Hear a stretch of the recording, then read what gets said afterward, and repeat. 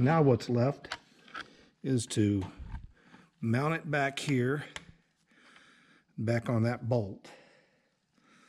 Let's see if we can do that. Let's see if we can mount this baby back on here.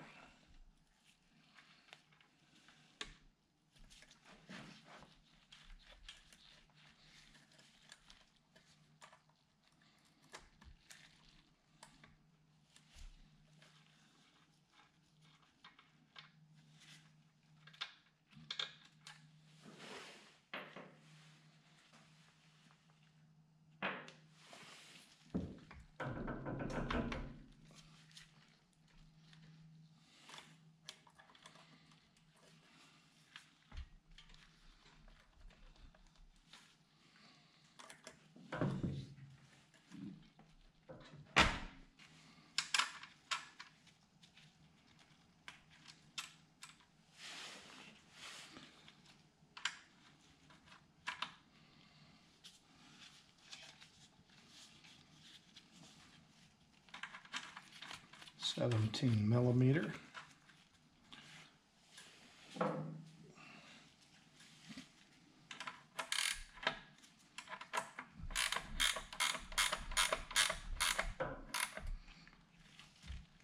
Crank down on that. This is a 10. This clamp. Open it up, fit over the end here.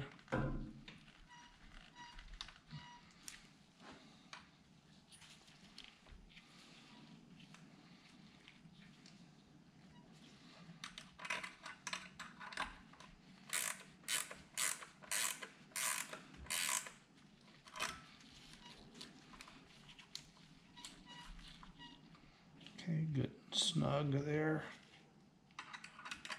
Tighten down on it.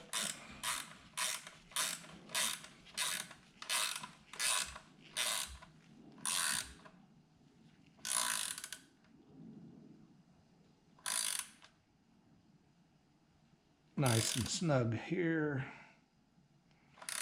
And we'll stop right there. Pretty tight.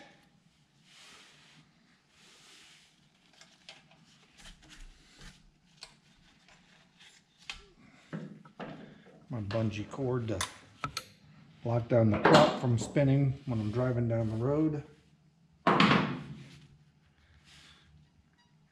Looks nice and tight.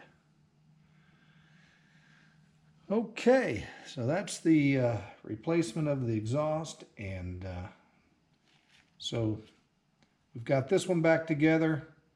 Now we've got to work on the other one that failed last night or the night before. And uh, depending on when this video goes out. So basically both exhausts have failed and uh, I've ordered some parts. Probably take it to the welder. And uh, if anybody has a an answer to maybe a possible replacement that would fit on here, I'd be glad to go with a replacement. I've thought about uh, not even repacking it, just uh, running it with no packing in it, take everything out of it and run it. Um, my understanding that it would probably lose power, it would probably run a little leaner, probably engine would get uh, hot, so uh, we'll see.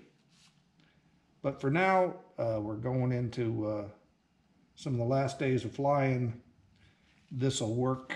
Actually, uh, it might even, you know, continue to work through next year. It's actually a, went back together really nice.